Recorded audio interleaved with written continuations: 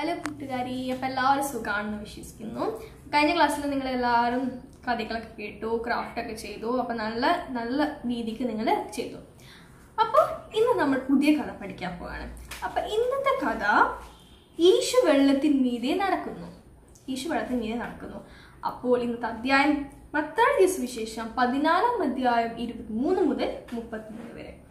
മത്താഴി സുവിശേഷം പതിനാലാം അധ്യായം ഇരുപത്തിമൂന്ന് മുതൽ മുപ്പത്തിമൂന്ന് വരെയുള്ള ഭാഗത്ത് നിന്ന് എടുക്കുന്നതാണ് ഈ കഥ. ഒരിക്കൽ ഈശു കർത്താവ് തന്റെ ശിഷ്യന്മാരൊന്നും കൂടാതെ തനിയെ പ്രാർത്ഥിപ്പാൻ വേണ്ടിയിട്ട് മലമുകളിലേക്ക് കയറി ചെന്നു.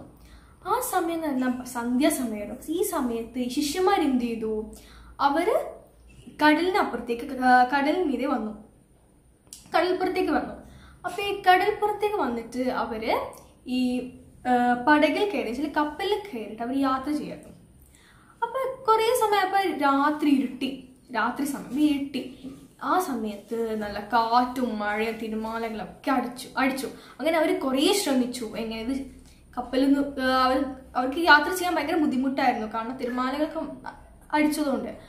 അപ്പോൾ ആ സമയത്താണ് ഒരാൾ ഇങ്ങനെ നടന്നു വരുന്നത് ഇവർ കാണുന്നത്. അപ്പൊ അവർ പേടിച്ച് നിലവിളിച്ചു. അതാ ഭൂതം ഭൂതം എന്ന് പറഞ്ഞ് പേടിച്ച് നിലവിളിച്ചു. യേശു കർത്താവ് പറഞ്ഞു ഭയപ്പെടേണ്ട ഞാനാകുന്നു എന്ന് യേശു കർത്താവ് പറഞ്ഞു.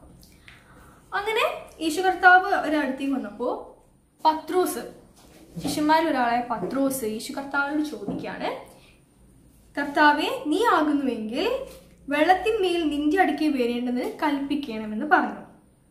യേശു കർത്താവ് എന്ത് കർത്താവ് വരിക എന്റെ അടുത്തേക്ക് വരിക എന്ന് പറഞ്ഞു. അങ്ങനെ പത്രോസ് കപ്പിൽ നിന്ന് വെള്ളത്തിലേക്ക് ഇറങ്ങിയ വെള്ളത്തിൽ ഇറങ്ങിയപ്പോ ഈ പത്രോസ് മുങ്ങിപ്പോയി. എന്നിട്ട് പത്രോസ് അലറാൻ തുടങ്ങി. രക്ഷിക്കണേ എന്നിട്ട് അലറാൻ തുടങ്ങി.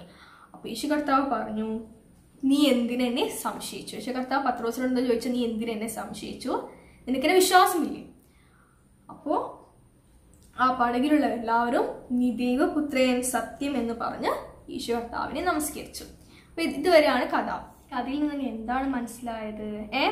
നമ്മൾ എപ്പോഴും ദൈവത്തിൽ വിശ്വസിക്കണം അല്ലേ? നമ്മൾ എന്ത് കാര്യങ്ങൾ നമ്മൾ ചെയ്യുമ്പോഴും നമുക്ക് ദൈവത്തിൽ വിശ്വാസമുണ്ടെങ്കിൽ നമുക്ക് അത്രയും നല്ല രീതിയിൽ നമ്മൾ കാര്യങ്ങൾ നമുക്ക് ചെയ്യാൻ കഴിയും. എന്ത് കാര്യമാണെങ്കിലും. അപ്പം നിങ്ങൾ ദൈവത്തിൽ വിശ്വസിക്കുകയും സ്നേഹിക്കുകയും ഒക്കെ ചെയ്യണം. അപ്പം നമുക്ക് ഇന്നത്തെ ക്രാഫ്റ്റിലേക്ക് കിടക്കാം.